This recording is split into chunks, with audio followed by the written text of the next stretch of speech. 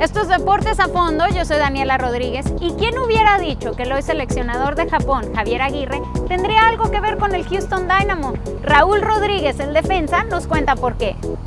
¿Qué le aprendiste a Javier Vasco Aguirre? ¿Alguna anécdota, algo que te haya quedado para el resto de tu carrera?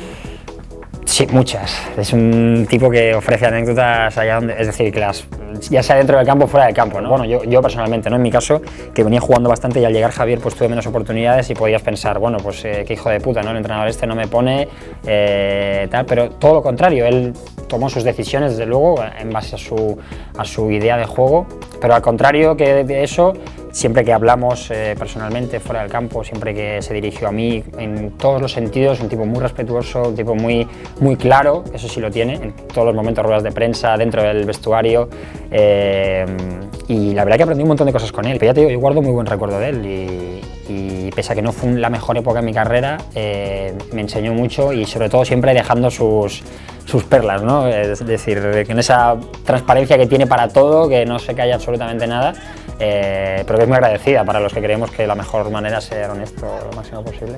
Si me ve esta entrevista, no sé, está en Japón ahora, creo, ¿no? Sí, en Japón. Le mando un, un, abrazo fuerte que se lo merece. ¿Messi o Cristiano Ronaldo? ¡Oh! Esa estaba tardando en llegar, ¿eh? Esa pregunta.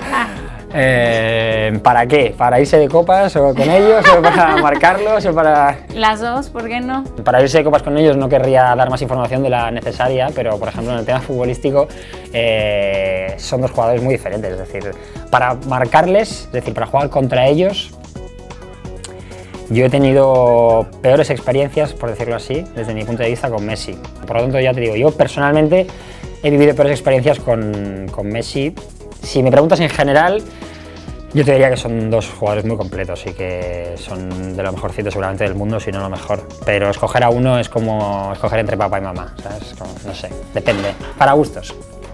No olvides visitar semananews.com para ver la siguiente parte de esta interesante entrevista. Para Deportes a Fondo, yo soy Dani Rodríguez.